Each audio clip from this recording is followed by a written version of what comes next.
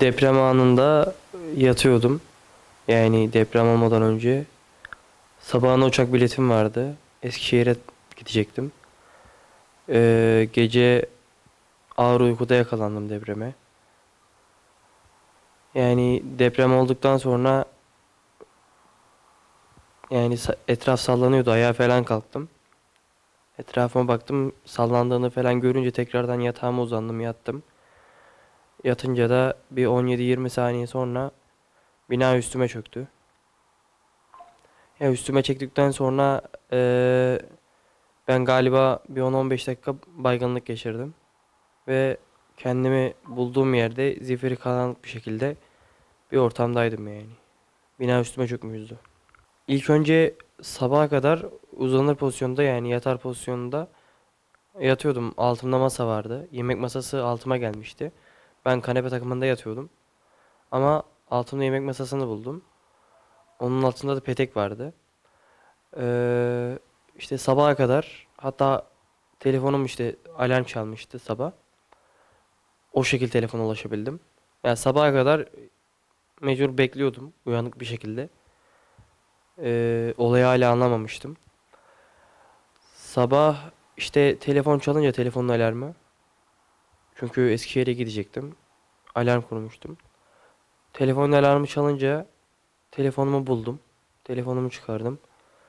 Telefonumu bulduktan sonra şebeke çekmiyordu. Herkesi aradım, mesaj attım.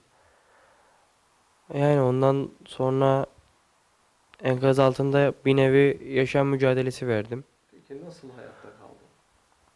Yani öncelikle susuzluğumu gidermek için kendi idrarımı içtim.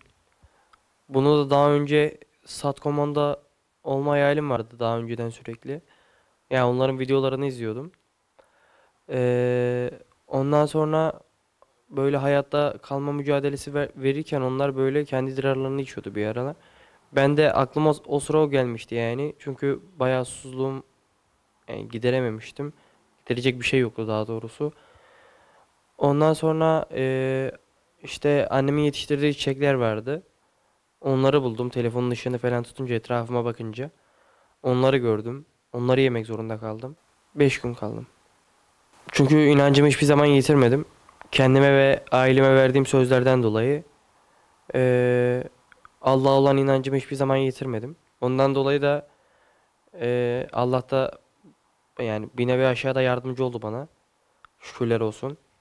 Yani inancımı yitirmedim. Enkaz altında e, öncelikle ailemi düşündüm. Yani ilk önce onlara kavuşmayı düşündüm yani. Sonra e, işte bu futbolumu düşündüm. Eş- Eskişehirspor'a transfer olacaktım. Orada gidip oynamak nasip olmadı işte öyle düşünce falan diye. İlk önce aileme kavuşup işte onları görmek sağ salim bir şekilde bir şey olmadan. Çünkü onların da yaşamın yani yaşadığını bilmiyordum. Bir haber alamıyordum. Aşağıda olduğum için. Yani yukarıdakilerin seslerini duyabiliyordum. Yani en başından söylemek gerekirse gece en son abim vardı. En son saat iki buçukta onunla konuştum gece. Ee, o uçak biletimi falan kesti. Sonra e, annem de migreni çıkmıştı. Migren hastalığı vardı. Hastanedeydi o. Hastaneye gitmişti. Ondan sonra ben de dedim hani yatayım dedim. Telefonu başıma koydum. Alarmı alarmımı kurdum.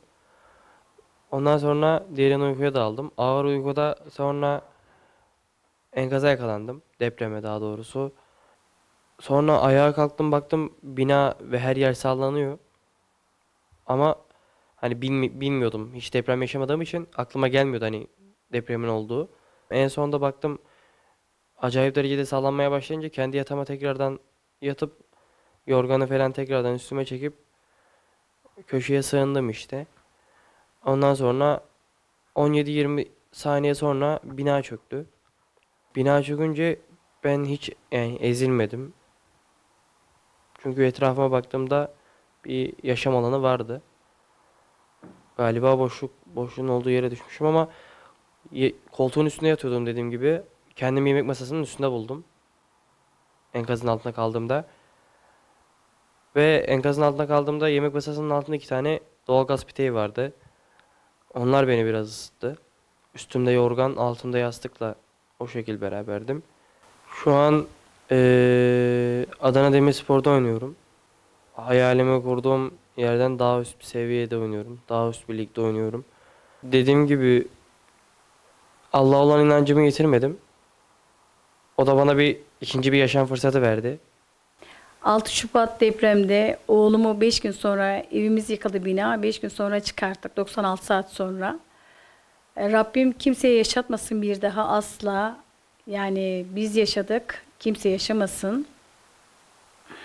Anlatmak e, çok zorlukla geçeceğim. O günleri yaşamak veya hatırlamak istemiyorum. Aradan bir yıl geçti. Ben öncelikle devletimize sağ olsun. Oğluma sürpriz yapmıştım. Dedim ya gerçekten de kimseyi Rabbim ne evsiz yuvasız bırakmasın. Yani insanlar öyle güzel insanlar biriktirmişim ki hepsini kocaman kocaman buradan saygılar sevgiler sunuyorum.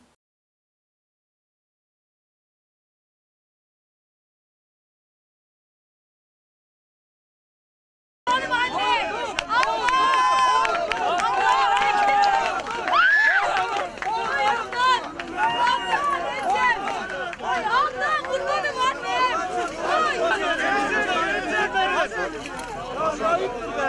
Tamam abi sakin sakin sakin. Sakin sakin sakin. Sakin. Tamam tamam. Hadi oğlum. Hadi oğlum. Hadi devam et. Yavaş. Allahu Ekber. Bir dakika. Yasemin abla. Allah için. Yasemin benim kan kardeşim. Hadi oğlum. Tuvaletimi, gel kendi tuvaletimi yaptım, tuvaletimi içtim. Hayatta kalmak için. Şöyle bir şey yapalım. Böyle hayatta durabildim yani Rabbimiz. Adnan geçmiş olsun. Nasılsın? İyiyim abla. Alo.